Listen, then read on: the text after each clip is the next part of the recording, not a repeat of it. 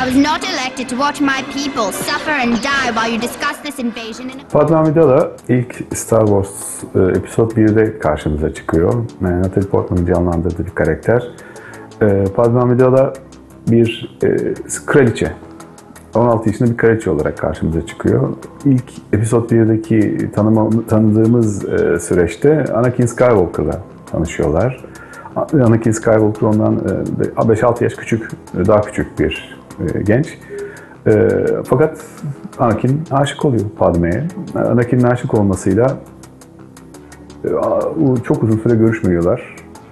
E, her biri farklı yollardan hayatlarına devam ederken işte aradan bir 8-10 sene sonra Anakin'le tekrar karşılaşıyorlar ve olaylar öyle bir hale getiriyor ki Anakin Amidala'nın korumalığını yapmak durumuna kalıyor. Artık Amidala kraliçe değildir, bir senatör olmuştur. Senatoda kendi gezegenini e, temsil ediyordur. Çok duygusal, çok naif ve çok e, saflığı, temizliği e, temsil eden bir e, karakter. Ve e, Luke Laraya'nın annesi onları doğumu aşamasında da e, ölüyor. Aslında ölüm nedenini hiç kimse bilmiyor.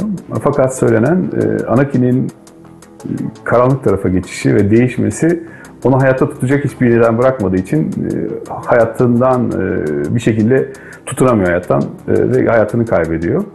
Bize şeyi gösteriyor, bu filmlerdeki masalsı temizlik, iyi kalplilik tiplemesini gösteriyor. Tabii çok güzel bir kadın aynı zamanda. Böyle bir karakter.